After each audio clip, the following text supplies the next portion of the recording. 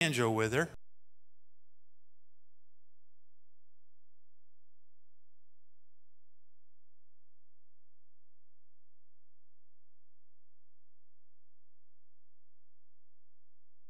We're going to do two courses, and hopefully, I think everyone will know these. Jesus loves me in this little light of mine. So, why don't everyone stand with me, please, and sing out nice and loud? And we'll do these two courses before we take up the offering.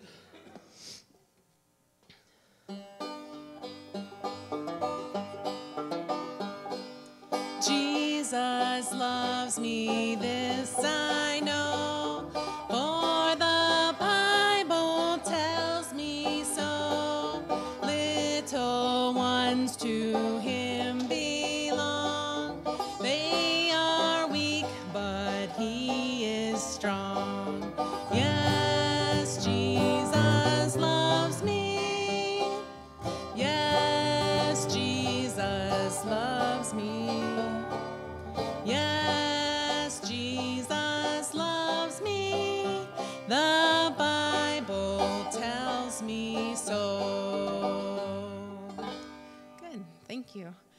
next, you can get out your lights if you want to do the motions.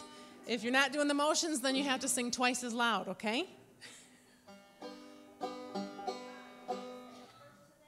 I'm sorry? Um, for Jesus loves me? Um, yeah. Um, refresh me.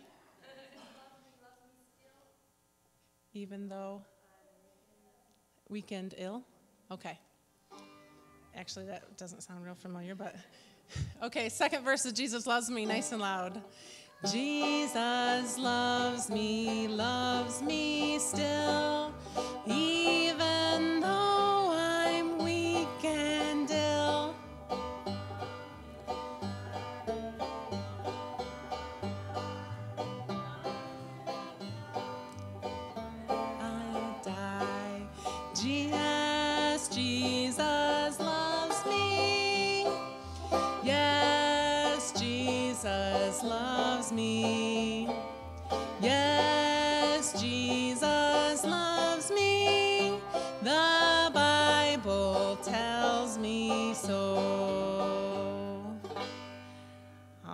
your lights out.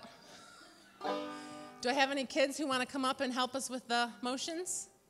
Do any of you know the, this little light? No? Okay. Caitlin, please? Caitlin and Cameron? and Julie? Julie, you always say you're a kid at heart. Oh, here they come. We're going to do a good job, guys. Thanks for coming.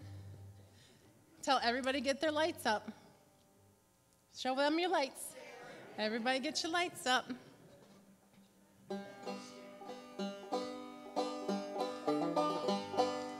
This little light of mine, I'm gonna let it shine. This little light of mine, I'm gonna let it shine, let it shine, let it shine, Hide it under a bushel, hide it under a bushel, no, I'm gonna let it shine. Hide it under a bushel, no, I'm gonna let it shine, let it shine, let it shine, let it shine. Let it shine till Jesus comes. I'm gonna let it shine. Let it shine till Jesus comes. I'm gonna let it shine, shine. Okay, I forgot. Thank you. Won't let Satan out. I'm gonna let it shine. Won't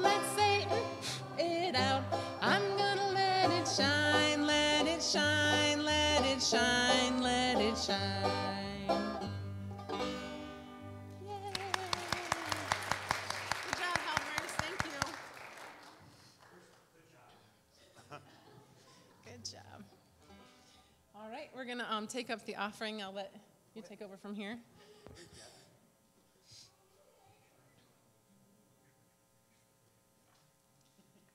And once we pray for offering, you can be seated.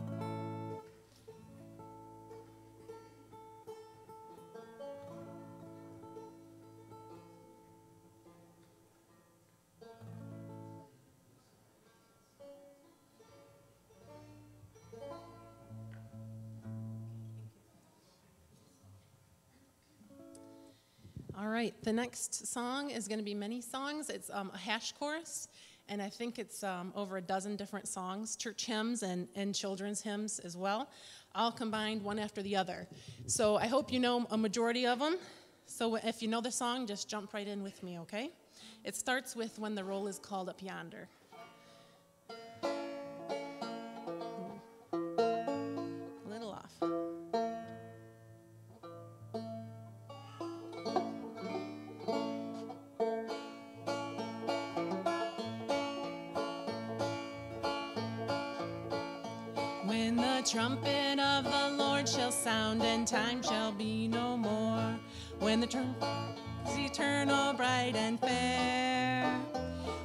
The saved on earth shall gather over on the other shore.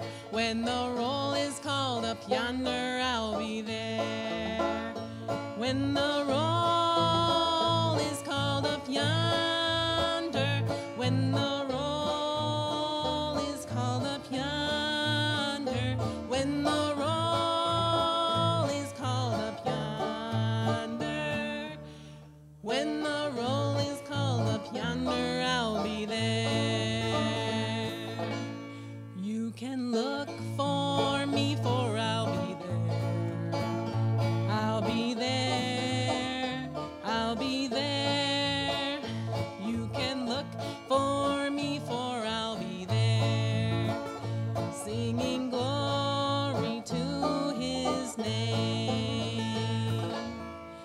precious name. Oh, how sweet, hope of earth and joy of heaven. Precious name, oh, how sweet, hope of earth and joy of heaven. Heaven is a wonderful place my Savior's face. Heaven is a wonderful place, but until then, my eyes will, whoops, but singing. Until then, with joy I'll carry on. Until the day my eyes behold that city. Until the day God calls me home. You know this one? This world is not my home, I'm just a passing through. My treasures are laid up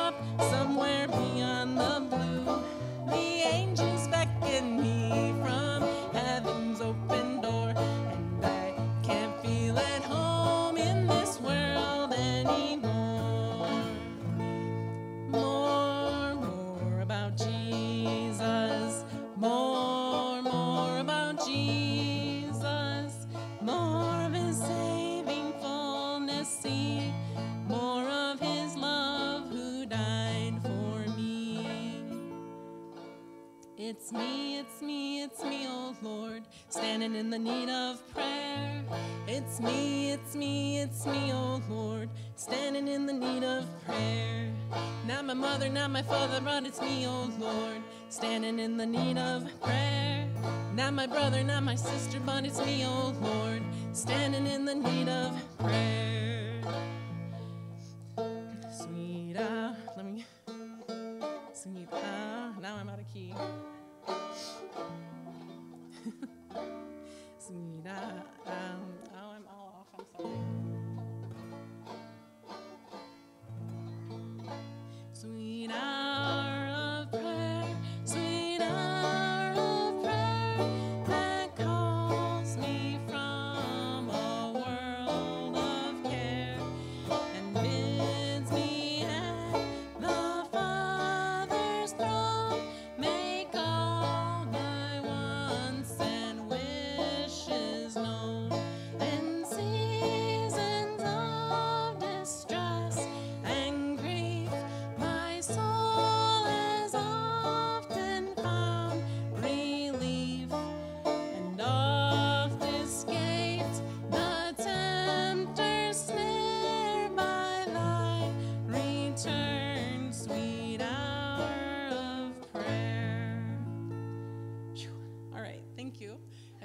singing loud, Vicki.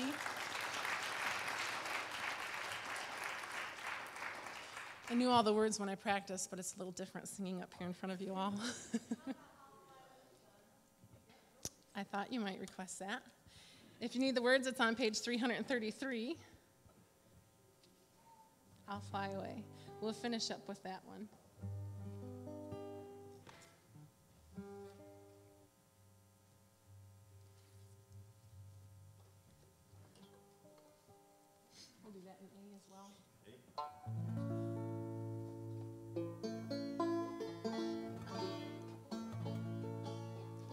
Right, why don't you all stand up so you don't fall asleep?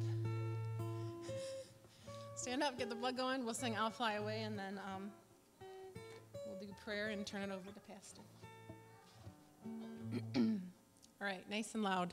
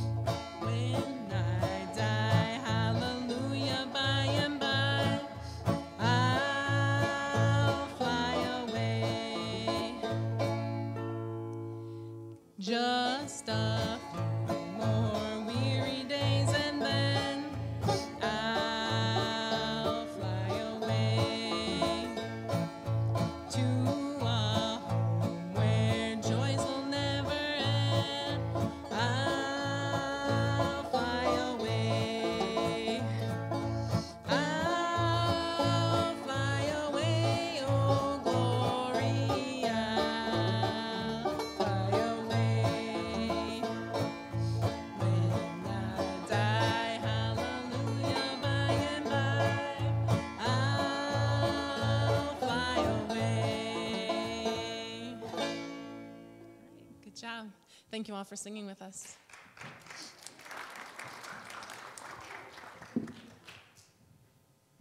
While Dawn, Dawn is uh, putting her banjo away, I just want to thank her for filling in for Tom this morning and, and uh, for singing tonight. She's such a blessing to our church. And uh, I want to thank her again.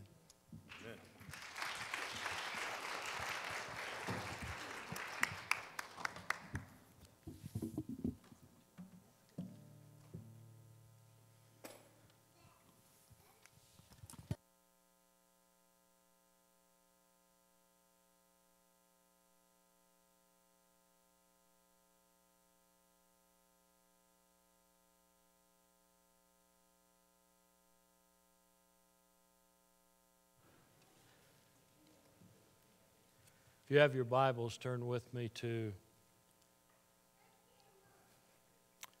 Matthew chapter 3. We're going to launch in at verse 13, and we're going to relate this to what I've been preaching about for the last several weeks. Where have we been preaching? You remember? Joshua.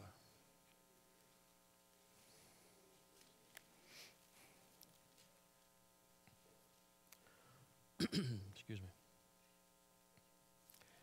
If you were to study the scriptures, you would find that there are at least three significant things that happened at the Jordan River. The first one we've, I've been preaching about for several weeks, where Joshua is leading excuse me, the children of Israel that have survived the wilderness, those that were less than 20 years old when they refused to go the first time, and also those that were born in that wilderness, Joshua was getting ready to take them across the Jordan into the promised land. There's another scripture, if you'd like to study this, it's found in 2 Kings, and it's the life of Elijah and Elisha, and something tremendous happened at the Jordan River that relates to what we've been preaching about. And then this scripture tonight also relates to that. So let's read beginning in verse 13 of chapter 3 of Matthew. Then cometh Jesus from Galilee to Jordan unto John to be baptized of him. But John forbade him, saying, I have need to be baptized of thee, and comest thou to me? And Jesus answering said unto him, Suffer it to be so now, for thus it becometh us to fulfill all righteousness. Then he suffered him. And Jesus, when he was baptized, went up straightway out of the water, and lo, the heavens were opened unto him. And he saw the Spirit of God descending like a dove and lighting upon him. And lo, a voice from heaven saying, This is my beloved Son, in whom I am well pleased. You may be seated. Now, I don't know, I don't guess there's any other preachers here tonight. Uh, but you teachers can no doubt relate to what I'm about to say. Have you ever been in a, and, and maybe just all of us can relate to this in some way as, as you study God's Word. Have you ever looked at a scripture and you know there's something there that God wants to give you? and you just can't quite seem to sort it out. And, and you look at all the different scripture that pertains to that, and you see everything, and uh, at least that's where I'm at tonight. And my prayer is that I won't confuse you, uh, that I will help sort out some things for you that will help you to understand better uh, the significance of when the children of Israel crossed that Jordan River into the promised land. So let's, uh, what do I always begin with? Let's review, okay, for just a minute. And I want to drive this home to you because I believe this is so important in your studies. If you were to look at the Old Testament, the Old Testament, in there are what are called types and shadows of Jesus.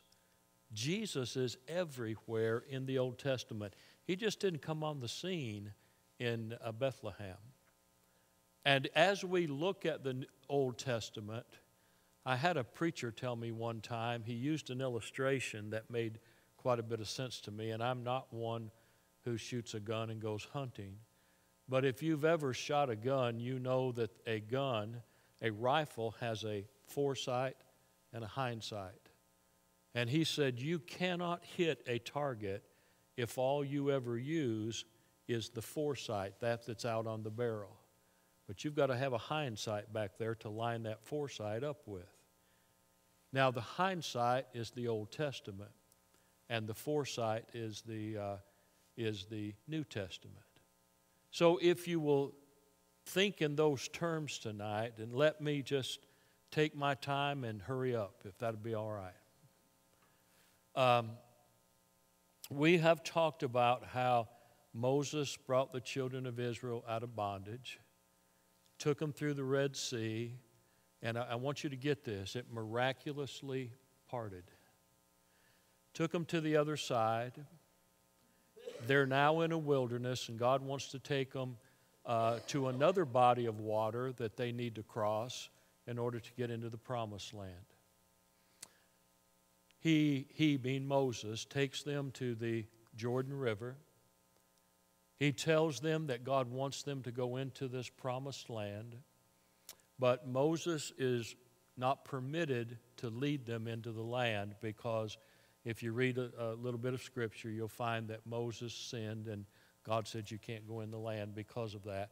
but he took him to the top of Mount Pisgah and let him view over into that promised land. When Moses said to the children of Israel, We need you to, God wants you to be in the promised land.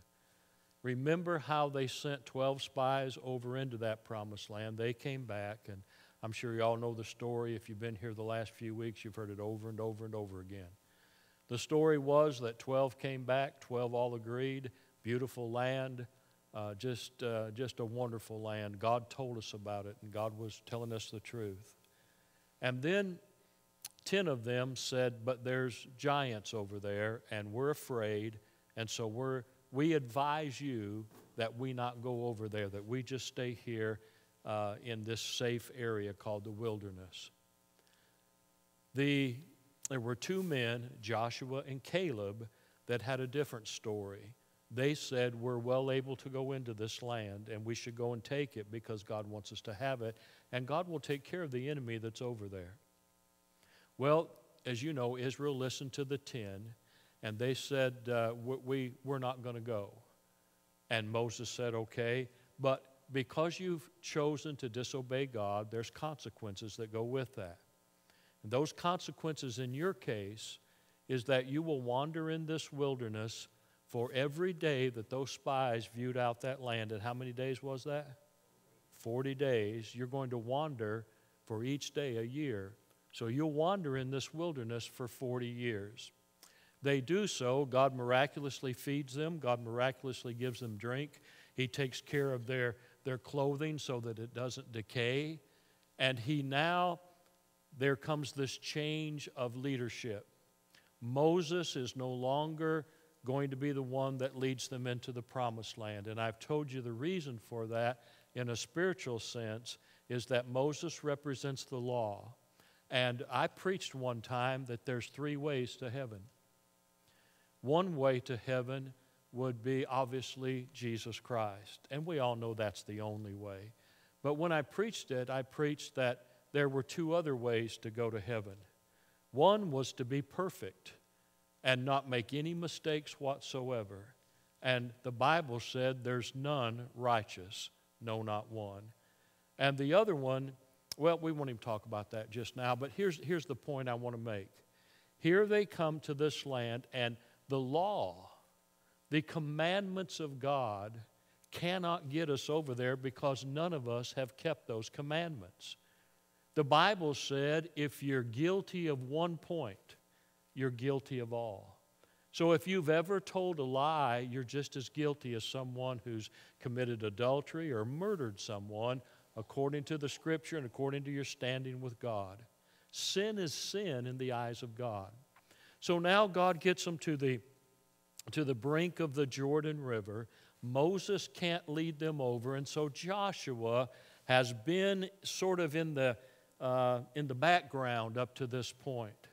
But Joshua now is chosen by God, and remember the name Joshua here in the Hebrew language, which most of the Old Testament was written in. Joshua in the Hebrew, if you translate that into the Greek, which most of the New Testament was written in, uh, Joshua equates to Jesus. And so we see a perfect picture here of Jesus Christ.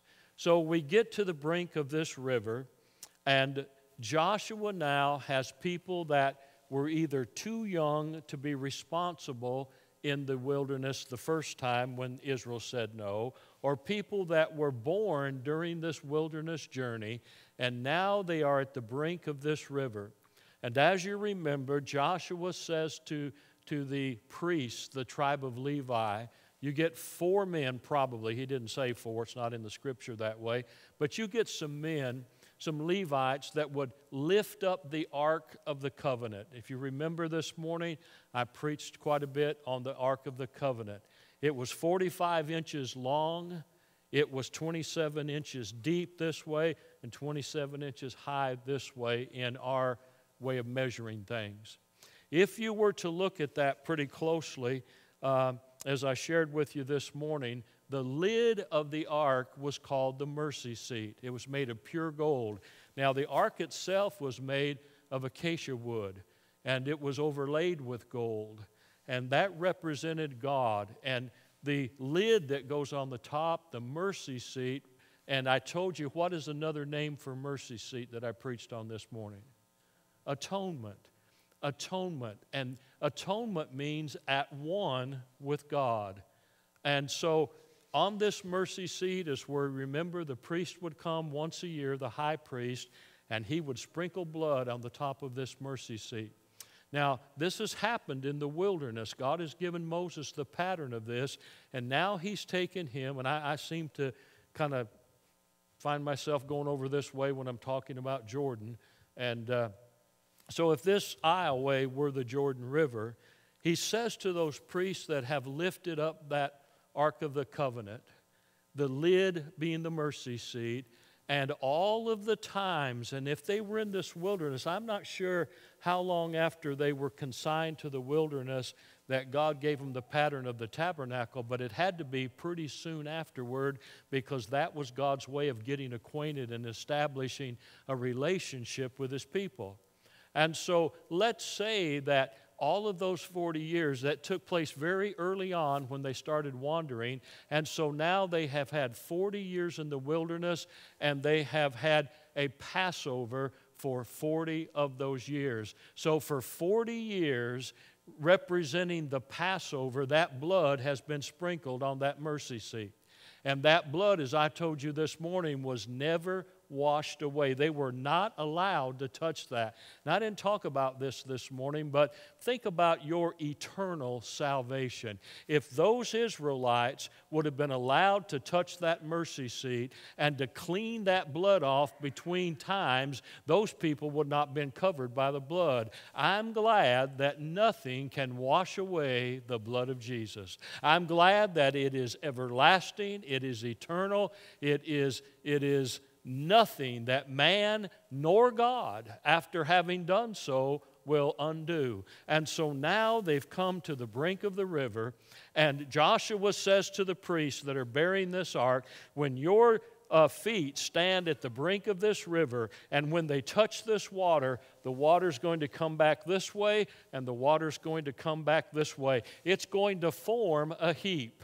And now, you men that are carrying this ark, you're to step down into this Jordan and it's going to be dry land. And when you're in this Jordan on this dry land, you are to hold level and to hold high this ark of the covenant. And he says to all of these people now, you're going to pass over. And I don't know if they had a single file line or if they just all all the way down the bank, crossed over at the same time. But the Bible said they passed by the Ark of the Covenant. So I'm pretty well sure that somehow, if it wasn't a single file line, it was pretty close to that. And here they go, one at a time, perhaps, passing over in front of this ark. And as they're passing over, remember that blood is on that mercy seat. And it's really the blood that makes a way for them to pass over. And as they get on the other side over here, when the last person comes up, Joshua has instructed some to take 12 stones and to put them in the Jordan. And Joshua himself takes 12 other stones out of the Jordan. And uh, uh, I'm sorry, it's just the other way around. They go in and take stones out of the Jordan and bring them over here. 12 men did that. And then Joshua takes stones that were from here and puts them back in the Jordan. And these stones over here are to be a memorial so that in time to come, when people would say, What do those mean? they could tell their children, they could tell their ancestors, you and I, the story would go on that we passed over the Jordan because the blood on top of the mercy seat paved a way for you and I. Now, let's go back for just a moment, and I don't want to spend a lot of time with this, uh, but I need to get Elisha and Elijah in this picture. Now, Elijah was the man that came on the scene, if you recall, in the Old Testament and said to Ahab, the most wicked king that Israel had ever known, said to him, It is not going to rain for three and a half years at the word of God. And so there was a drought. Remember how Elijah had performed a miracle after miracle after miracle. Now, Elijah, and, and, I'm going to summarize this very quickly Elijah is up in age, and Elijah knows his time on this earth is really short.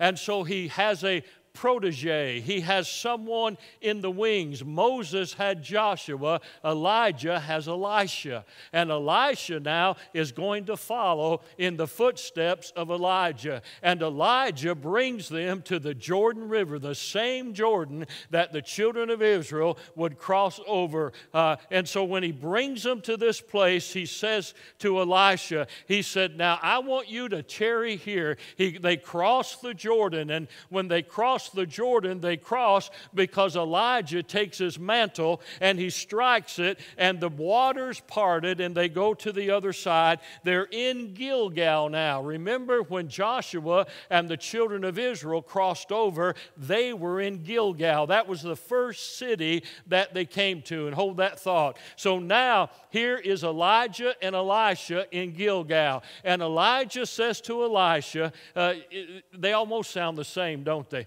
Elijah says to Elisha, uh, I'm going to leave here, Jordan, and I'm going to Gilgal, and I want you to stay here. And Elisha says, Not so. You're going, I'm going. And so they go to Gilgal, or from Gilgal, they go to Bethel. And the same message is given to Elisha God has sent me from Bethel, and he wants me to go to Jericho. And, uh, and he said, I want you to stay here uh, in, in, uh, in uh, whatever city I just said. I want you to stay here. And then he says, I'm leaving here, and, and God is going to take me to Jericho. I'm leaving Bethel. And he said, No, I'm not staying in Bethel. I'm going with you. When he gets to Jordan, he retraces his steps and he goes from Jordan, or Jericho rather, back to Bethel, back to Gilgal. And he said, God has sent me to Jordan. And so when he gets to Jordan, they're about to uh, uh, cross over, and the Bible Bible said that Elijah takes his mantle and strikes the water, and the water parts again, just like it did when uh,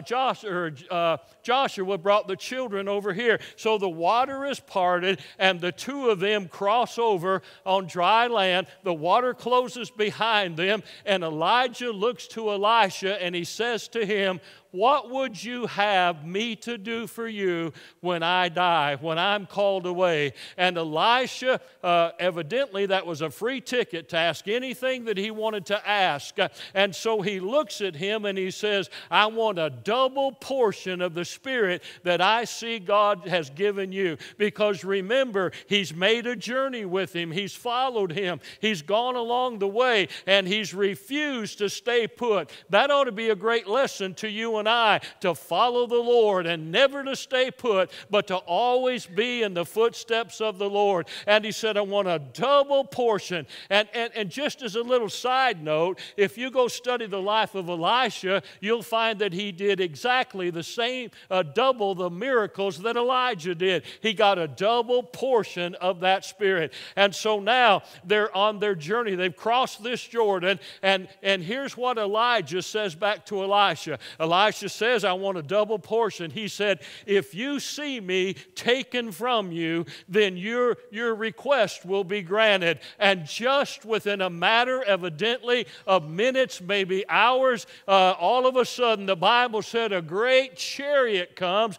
a chariot of fire, grabs a hold of Elijah and takes him to glory. And all of a sudden, his mantle's on the ground. Elisha picks it up, goes back to the Jordan, and claims the God of Elijah and strikes it, and the waters part again. That's the point I want you to see. Joshua had the waters parted, Elijah had the waters parted coming this way, Elisha has the waters parted going back over this way. Now, let me bring you to what I read. Uh, we talked about the mercy seat, and we talked about the blood, and we talked about um, this great experience that Elisha has, has had because Elijah Elijah is caught up to God. Now, here comes uh, Jesus uh, walking toward that same Jordan, and I'm of a mind to believe that he walked through Gilgal to get there. Remember, he's over on this side now, and as he's walking, he comes through and probably comes through Gilgal and comes to the Jordan River, and his cousin, six months older than him, John the Baptist, uh, is baptizing in the river, and John is baptizing the baptism baptism of repentance. Uh, and as he lays these people in the water uh, and fully submerges them and raises them up, uh, they're being baptized unto John's baptism. But here comes Jesus walking, and all of a sudden John sees him. Now, you've heard me preach this, and I, I've never heard anybody else preach this. I guess they're not as ignorant as I am. But if you think about how did John, according to the New Testament, uh, best I can tell, John the baptizer and Jesus being first cousins. Remember, John was Elizabeth's son. And you, are going to hear about that probably at Christmas time. And here's Jesus, the son of Mary. So, and Mary and Elizabeth are, are sisters, uh, or cousins, I guess it was, wasn't it? Uh, anyway, they're related. And, and, and when uh, uh the scripture said uh, Mary makes a journey to the house of Elizabeth, and the Bible said when she spoke her salutation, that was a greeting. The Bible said the babe leaped in the womb of Elizabeth, and Elizabeth was filled with the Holy Spirit. Now, if John is in the womb of his mother, and Jesus is in the womb of his mother, and later on, if they've never seen each other, and I don't know if that's true or not, but according to Scripture, I can find nowhere that they ever are mentioned together. If they've never seen anybody, when John sees Jesus, coming, he makes the greatest proclamation man can ever make Behold, the Lamb of God that taketh away the sin of the world. How did he know that? Because their spirit uh, bore witness with one another when Jesus came in the womb of Mary and John is in the womb of Elizabeth. The, Bi- the Bible said the babe leaped in Elizabeth's womb. Why? Because I believe the spirit was transferred. And I'm going to tell you this, and you can Laugh at me if you want, but I believe John the Baptist was the only man that was born again before he was born. Now take that home and chew on it for a while and see what you come up with. If you come up with anything better, you let me know. So here they are, and John says, Behold the Lamb. Now remember, why is this significant that John says this? Why is he calling Jesus a lamb? Because if you remember back when they were, they being the children of Israel, were in the wilderness and they were wandering, remember that the tabernacle was erected. And remember, the high priest would take the blood of a lamb and he would approach and he would come in behind the veil and he would take that blood blood and he would sprinkle it on that mercy. Uh, that was the blood of a lamb. And now, as they're crossing over the Jordan, Joshua says, Hold it high because it's got the blood of the lamb. And now Jesus comes, who is the Lamb of God that takes away the sin of the world. And he comes into Jordan and he says to John, You need to baptize me. John says, No, not so, Lord. Lord, I've got need to be baptized of you. Jesus said, Not so, you baptize me. Now, we all know that Jesus never needed to be saved and he never needed to join the church. He was the one that instituted the church. So, why was he baptized? When he submitted to that baptism and John took him and laid him in the water, it was symbolic of that ark going down into the Jordan River. It was symbolic symbolic of the death of Jesus Christ uh, that freed me and you from sin. Uh, and then when John uh, raised him back up, uh, remember that when they got on the other side, uh, remember that Joshua said to those uh, that bore the ark, You come up now out of Jordan. And when they came up out of it, symbolic of the resurrection, Jesus was saying, I have come to die for you, but I will not stay in tomb. I'm going to be raised uh, and I will establish Christianity that can claim a Savior uh, that has never stayed in the tomb, never going to be found dead again. Uh, he's alive forevermore, and the scripture depicts him that way. And what happened at Gilgal? When they got to Gilgal, remember, I believe Jesus probably came back through Gilgal, came to the brink of the Jordan Remember what Gilgal means? Joshua said that Gilgal means rolling away.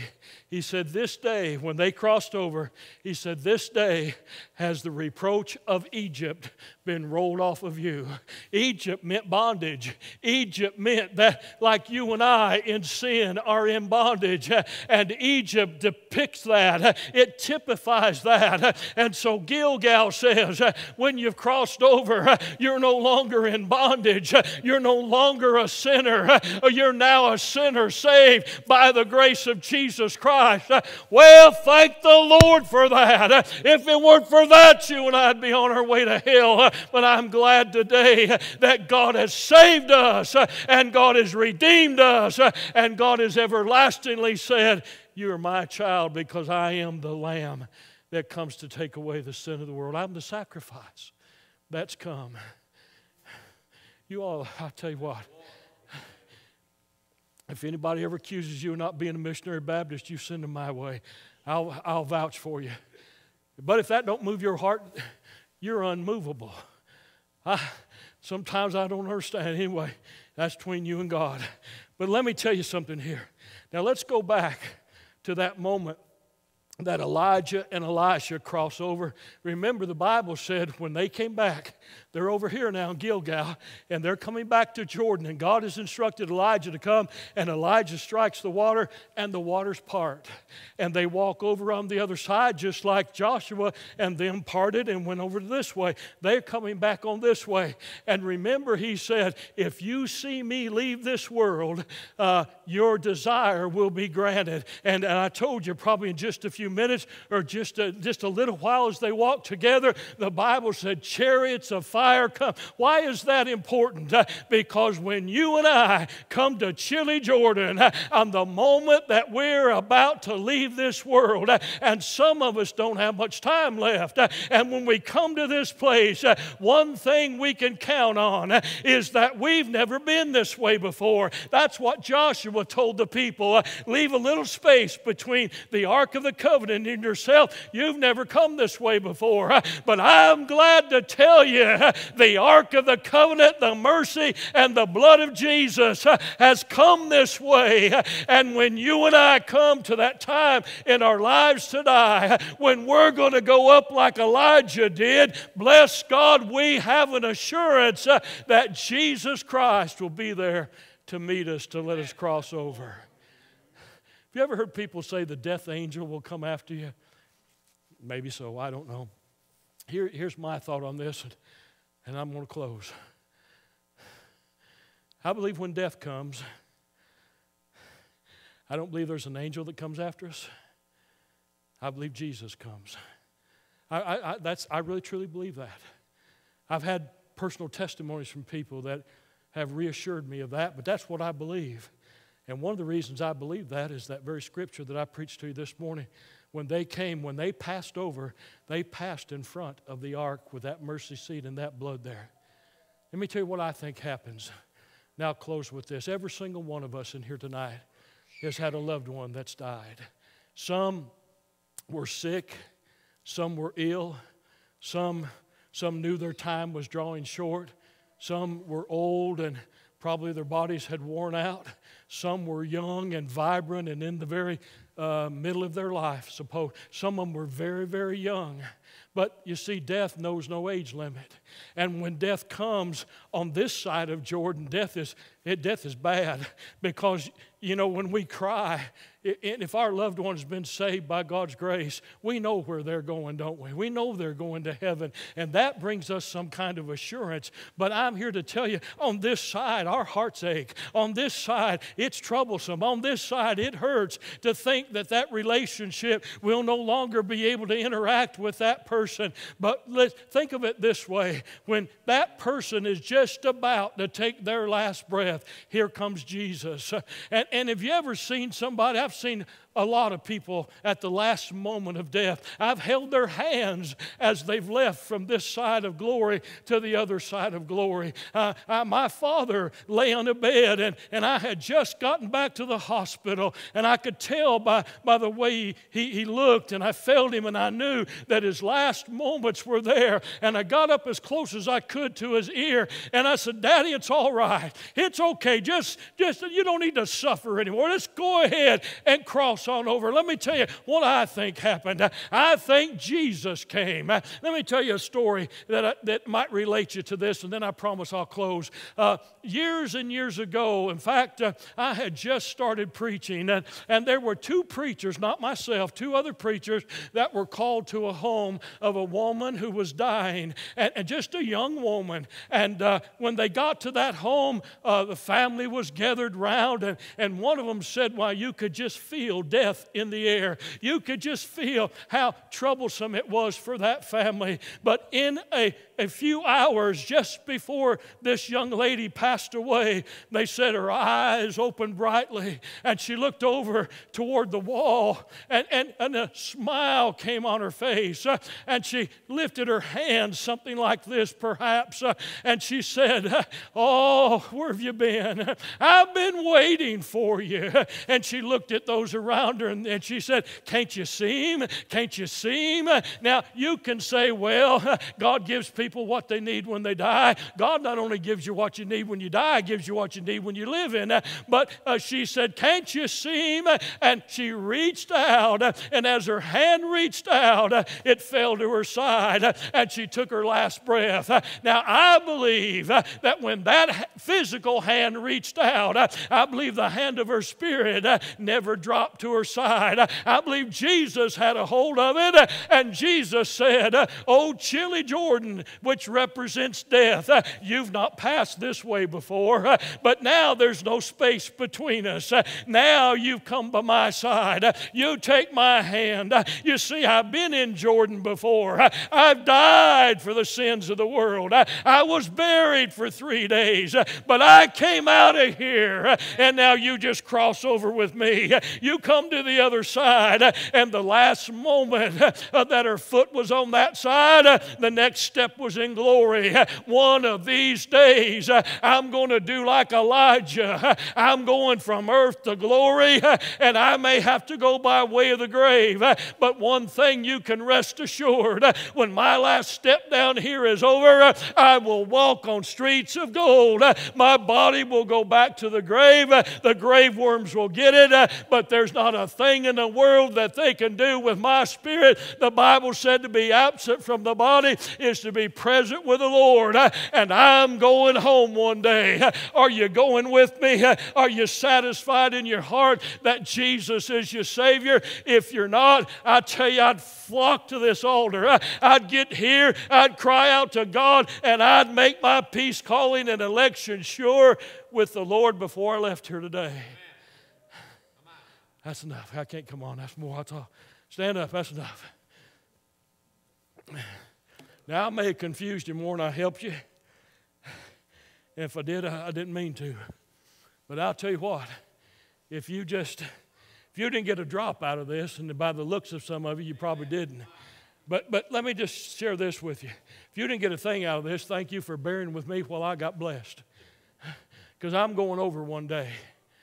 I, am going and I, I'm looking to take the hand when John said, Behold the Lamb of God there was a time that I took the blood of the Lamb and I applied it to my heart.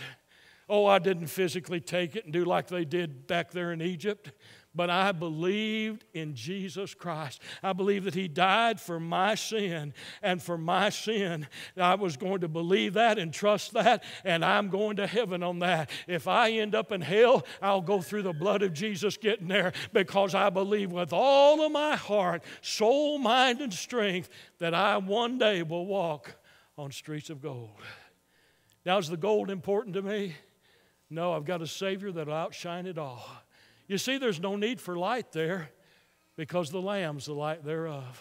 Isn't that wonderful to think about that? Now, I got to stop. I, I don't have enough breath to go on. I, there's a couple of more things I'd probably like to say. I just don't have the breath to do it.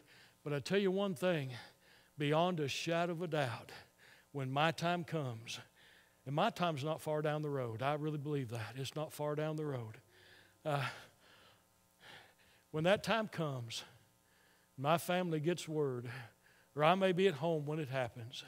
When my time comes, I want you to know something. I've made the crossing.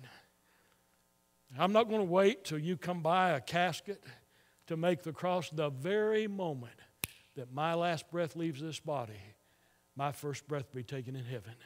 Now, I don't know what all that's about, but I know one thing when I make the crossing, the reproach of Egypt will be completely rolled from me. I still struggle with the reproach of Egypt in this flesh, and you do too if you'd be honest. But I'll tell you what, one of these days, all of that reproach is rolled away, and all of that crossing on the other side. Now, think about it this way when Joshua brought the children of Israel here, and the waters rolled back, and they walked through, when they all got to the other side, the waters closed in again. Jordan River still flows, as far as I know today. Go back to the Red Sea when the children of Israel came out of Egypt. The Red Sea parted and they went through on dry ground. But then the Red Sea came back in.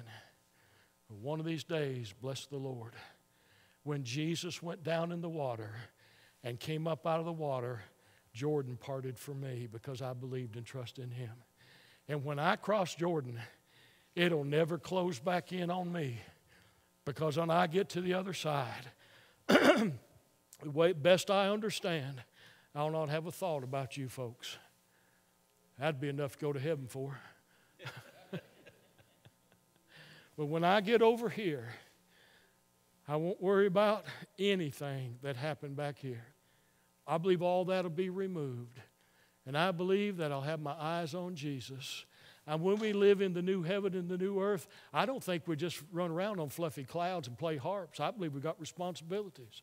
But I'll tell you one thing I do believe with every ounce of my being. When I get over to the other side, there's no coming back. You see, Elijah went over and Elijah came back. And no coming back. When you get on the other side, you wouldn't want to come back. As much as you miss your loved ones, if you could talk to them right now, and if you had the power to say to them, Listen, God's given me the, the authority to tell you if you want to come back, you come back. Every single one of them would say, No, I, I, I think I'll just stay here. You come see me. Let me tell you a story, and I promise I'll close. I've said that twice, haven't I? When my mother was in St. Vincent's Hospital, I was just shy of my 18th birthday. And uh, she had had a stroke and followed by a heart attack. The doctors didn't have the technology that they've got today, and so they told my dad and I, they said, she'll never leave here.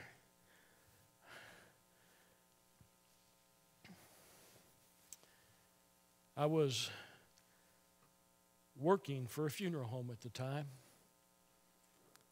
and just the thought came over me uh, in the garage area where we used to sit, there was a door that went into a preparation room where they prepared bodies. The thought came across me your mother's body being there today.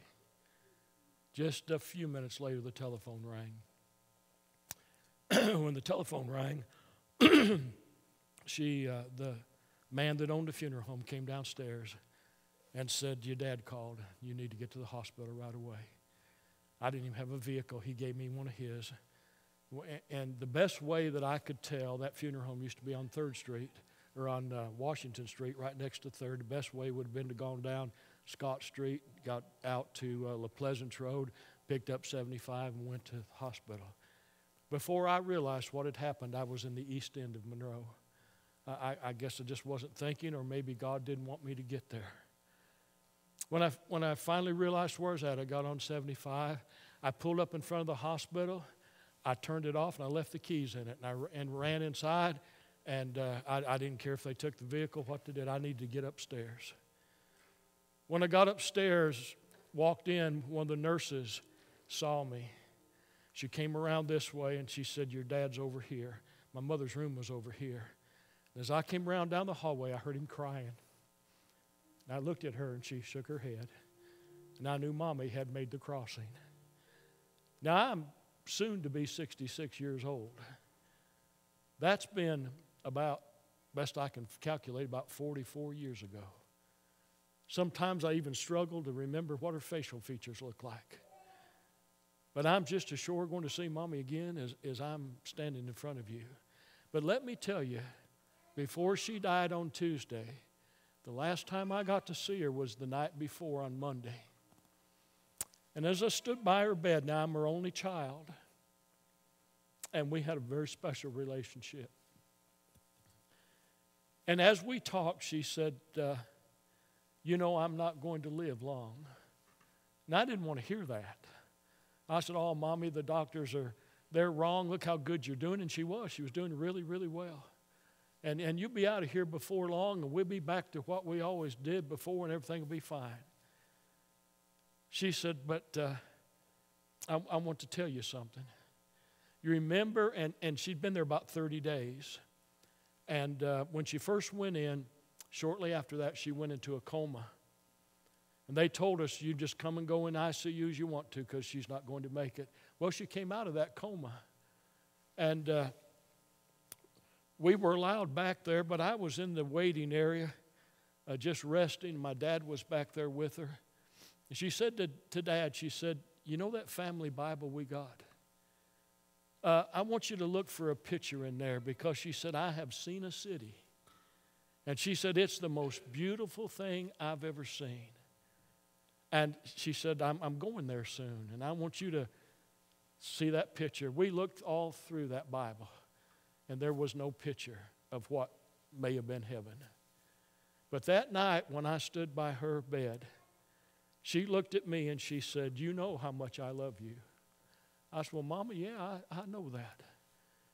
She said, But Larry, what I saw when I was in that coma, she said, That's the, that's the prettiest thing I've ever seen in my life.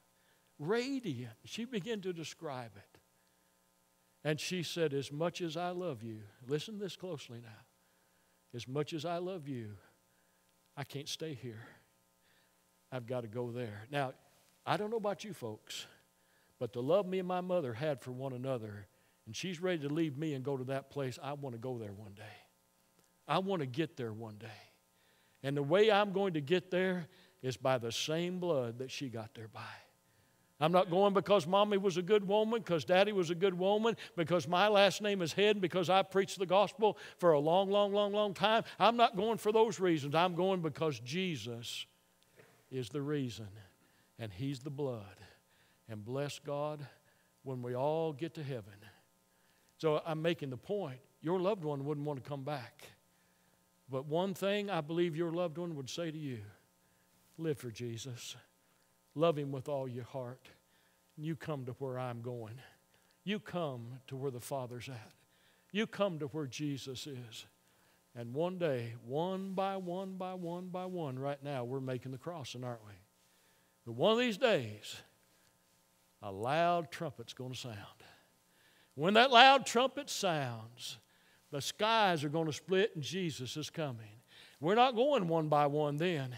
He's gathering us up, and all of them, those bodies that have gone to the grave, those souls are coming back, unite with that body. That body be changed to a glorified body, and they begin to rise. And the Bible said, Those of us that remain shall not prevent them. That word prevent means you'll not precede them. They've earned the right to go first. But when they've gone, the Bible said, We'll be changed in a moment, in the twinkling of an eye, and all of us are going home to be with Jesus. You better get on the boat. You better get your ticket, as one preacher used to say, because without that, you can't go. Go ahead and sing something. This is one of them, if, if they don't sing, I'll just keep rambling.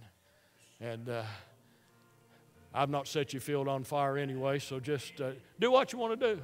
You go home, go home. When the last Stay here, stay here. I don't know winds of sorrow have blown, there'll be somebody waiting to show me the way. That's a good song. huh? I won't have to cross Jordan. How many of you know you're crossing Jordan and you won't cross it by yourself? I won't have to cross Not by yourself. Jordan alone. Jesus died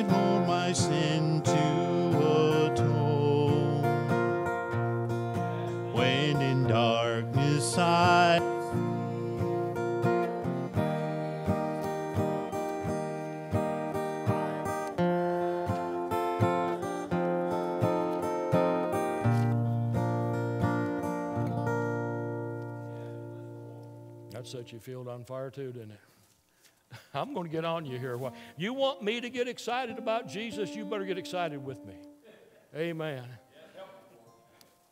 Uh, we don't need to do anything with this. We already handled it a different way. God bless you, love you, appreciate you. You're at liberty to go. Oh, I'm sorry. Um, Brenda, you want to just tell them what, uh, what you heard? Margaret's daughter has pneumonia. She's been sick all week. And Margaret called and said that they had taken, her husband had taken her to the emergency room. And Margaret asked that we remember her daughter in prayer. Okay. And then Hoy told me that Don came home today. That's good news. They were telling me this morning that Jane's doing better out of some of the pain she was in. And I don't know about anybody else. God bless you. Appreciate you. Love you. You're at liberty to go.